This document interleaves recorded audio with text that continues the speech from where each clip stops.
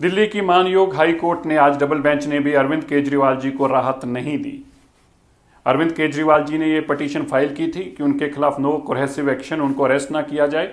अगर उनको बुलाया जाता है तो ये अश्योर किया जाए कि उनको ईडी अरेस्ट नहीं करेगी। लेकिन मानयोग हाई कोर्ट ने ऐसी कोई भी राहत देने से इनकार कर दिया।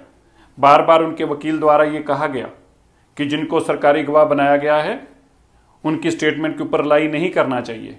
यह भी कहा गया कि अरविंद केजरीवाल जी एक पार्टी के कन्वीनर हैं, मुख्यमंत्री हैं दिल्ली के।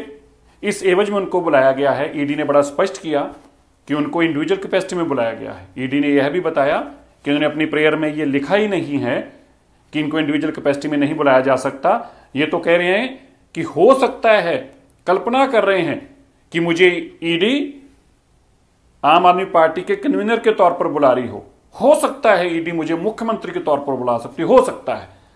हैरानगी यह है जो कल तक समनों को फर्जी बताते थे, इनवैलिड बताते थे, इलीगल बताते थे, आज उन्हीं समनों को लेकर हाई कोर्ट में गए हैं। और हाई कोर्ट भी उनकी सुनवाई करने को तैयार नहीं है, क्योंकि हाई कोर्ट ने बंद कमरों में वो सारा एविडेंस देखा, जिस एविडेंस के मुताबिक अरविंद केजरीवाल घपलेबाज हैं। अरविंद केजरीवाल रिश्वतखोर हैं। अरविंद केजरीवाल जी ने सैकड़ों करोड़ रुपया शराब घोटाले में इकट्ठा किया है, और अरविंद केजरीवाल जी को इस केस के अंदर जेल जाना चाहिए। इसलिए मानयोग हाई कोर्ट ने किसी भी तरीके की उनको राहत देने से इनकार किया। आज देश के सामने सच सामने सच आ गया है।